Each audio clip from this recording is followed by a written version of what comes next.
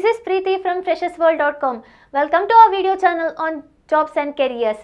Today I am going to discuss about career after mechanical engineering. It is very common for every BTech graduates to fumble over next step in career after graduation, but not for the one who has mechanical degree. One fascinating feature of mechanical engineering is its broad and diverse application base, which is why mechanical engineer have always been in demand. We have numerous options to choose after BTech. Here, few of the best options are discussed to guide you in career in a right path. Higher studies. After completion of your graduation, you can offer master's degree in India by cracking GATE. You can go for MTech, ME in the most reputed engineering colleges across India like IITs. Here you can choose some subjects for specialization. Automobile engineering, industrial engineering, thermal engineering, product design and development, computer integrated manufacturing, manufacturing engineering, material technology, engineering designs, computer aided designs and manufacturing, energy engineering and management, mechatronic engineering, etc. If you wish to opt for management stream after studies, then you can go for MBA. You better to work for a while in industry as most of the business could consider work experience.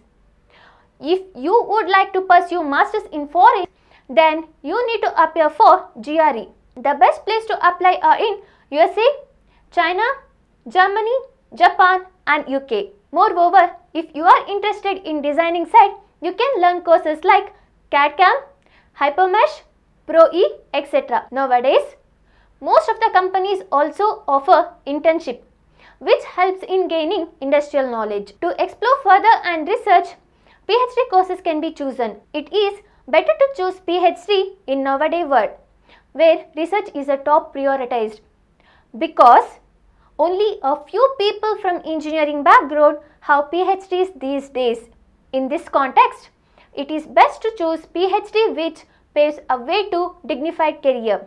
Job options Mechanical engineering offers a wide bouquet of job options to students who are looking for a stable and stimulating career. In the government sector, mechanical engineers can provide their knowledge to various government-run projects in the role of technical experts and consultants. They can also work in a private engineering companies that provide technical consultancy to both government and the corporate firms.